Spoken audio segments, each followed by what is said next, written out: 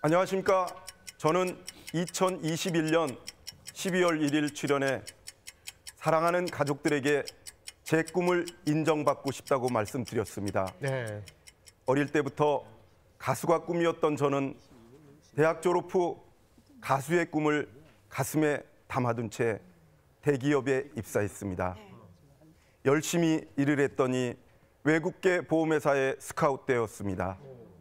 저는 CEO를 담당하는 영업을 했는데 고객이 원하면 낮이건 밤이건 서울이건 지방이건 언제든지 달려갔습니다.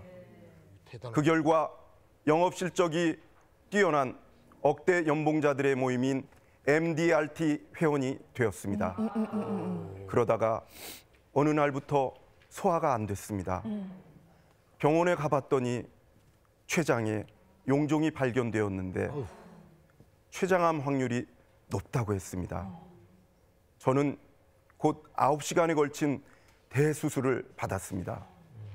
제발 살려달라는 간곡한 기도가 통했는지 저는 9시간의 대수술을 마치고 살아났습니다.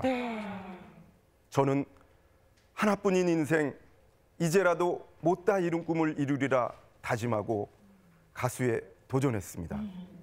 그런데 아내와 딸이 결사 반대를 했습니다. 네. 저는 가수로 아내와 딸에게 당당하게 인정을 받고 싶어 도전 꿈의 무대에 도전했습니다. 출연 후 많은 분들이 응원해 주셨습니다. 제 누나들도 아예 노래를 못하면 말리겠지만 음. 노래를 잘하니까 네. 하고 싶으면 해라 어. 라고 했습니다. 친구들은 저를 연예인이라 부르며 행사에 초대를 해줍니다. 네. 어. 그리고 많은 분들이 가족에게 인정받는 가수가 되었냐고 궁금해 하셨습니다. 맞아요. 어. 그러나 아내는 여전히 절대 반대입니다. 음, 딸은 아침마당 이후 조금 마음의 문을 여는가 했더니 어, 어. 요즘 다시 엄마가 그렇게 싫어하는데 꼭 해야겠냐고 합니다. 음. 이러지도 저러지도. 사정이 이렇다 보니 저는 진년, 어, 지난 몇 년간 매번 아내 몰래 활동했고 오늘 무대도 아내 몰래 나왔습니다. 아. 음. 사실 아내 마음도 이해가 안 되는 건 아닙니다. 노래에 집중하다 보면 일을 못하고 가정에도 소홀할까 그렇지. 걱정하는 겁니다. 음, 음, 앞으로 꼭 일도 가정도 잘 챙기면서 노래하겠습니다. 저는 지난번 방송에서 사랑하는 아내와 딸에게 인정받는 가수가 되고 싶다고 했습니다. 네. 오늘 아내와 딸에게 인정받도록 열심히 노래 부르겠습니다. 힘든 건잘 압니다. 네. 그러나 사랑하는 아내와 딸에게 인정받는 가수가 되고 싶습니다.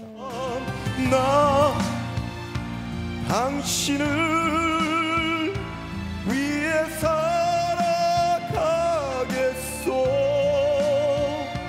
남겨진 세월도 함께 갑시다 네, 하진필 씨가 부를 곡 하동진의 사랑을 한번 해보고 싶어요.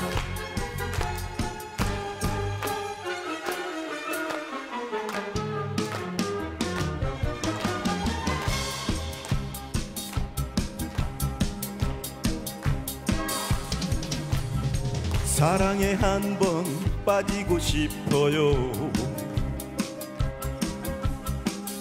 아주 멋진 여자를 만나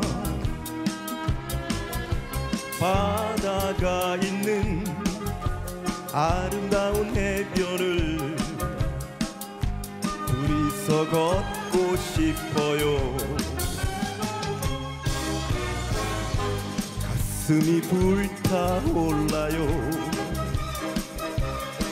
눈물마저 빙 도네요. 지금까지 살아오면서 나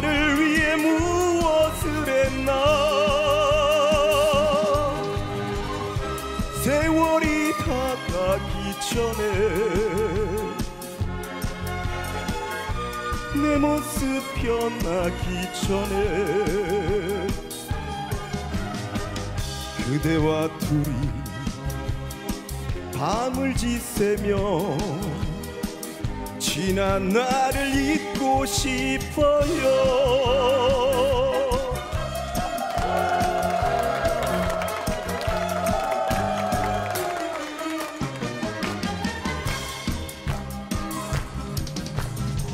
사랑을 한번 해보고 싶어요. 매력 있는 여자를 만나 아무도 없는 무인도에서 그녀와 함께 있고 싶어요 가슴이 벅차올라요. 눈물마저 핑 도네요. 지금까지 살아오면서 나를 위해 무엇을 했나? 세월이 다가기 전에 내 모습 변하기 전에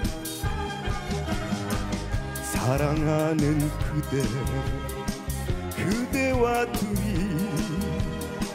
지난 나를 잊고 싶어요. 지난 나를 잊고 싶어요